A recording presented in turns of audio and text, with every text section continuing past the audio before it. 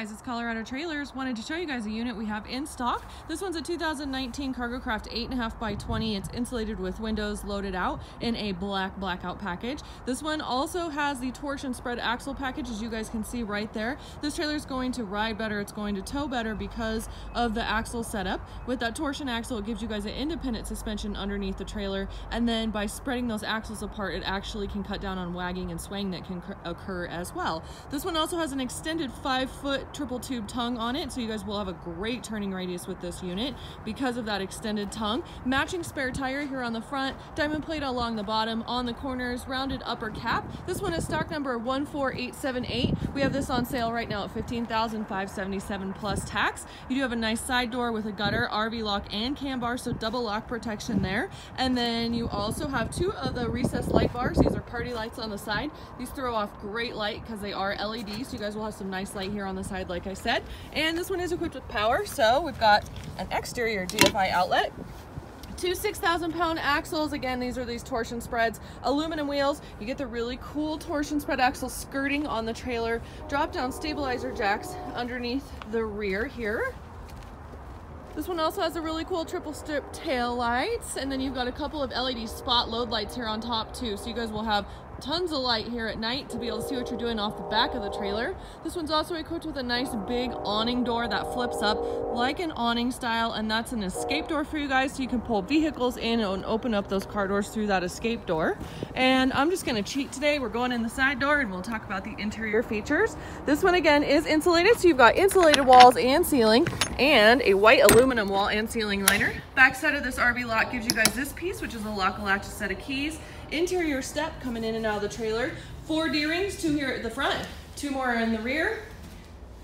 And seven foot interior height. So I'm gonna spin around and we'll go this way first. So you guys can see you've got two of those 18 by 44 slider windows with screens. They are tinted, they are lockable right across from each other, or you can fold up that awning door and really get some ventilation in through the trailer. And then there's your insulated walls and ceiling with that white aluminum wall and ceiling liner. AC unit with a heat strip with this unit, and then awesome interior lighting. I'm loving this. We've got six puck lights, so you've got three of these little guys here on each side. These are going to be wired to a battery and run off of the battery inside the trailer. I'll show you guys that in a second. And then you've got four four foot LEDs on angle in here. These are 110, those are gonna run with your power package. So great lighting. They're all on switches right there so you guys can control what's on and off. And then we've got two of the MaxxAir roof vents here in the back. So you guys have lots of ventilation in this trailer. Light switch back here is to turn on those LED spots off the ramp. So you guys can drop that ramp door and immediately get that load light. This does have a transition flap on it, so you guys will fold this ramp down and then this piece folds out and extends, giving you guys a nice easy angle coming in and out of the trailer. Plus, we've got a three inch dovetailer here at the rear. So you guys can see the rear of this trailer simply drops off three more inches. And again, that's just to create a nice easy angle coming in and out.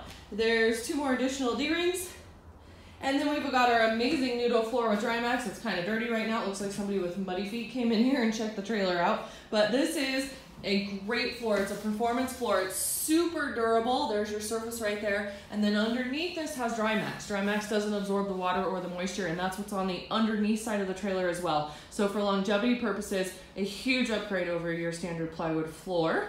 And then we're at the back of the trailer looking forward now so you guys can see there's your two vents in your AC unit. And we're gonna come up a little bit closer here. Here's your 30 amp service box. You do have that with a couple of breakers right there. You take that cord, pop it right through the floor into your generator, and that's what will power up your trailer. You guys can also use an adapter and plug into an extension cord or campground. We've got a ton of interior outlets in here. One, two, three, four, and there's another one at the back. So five interior outlets plus that exterior GFI.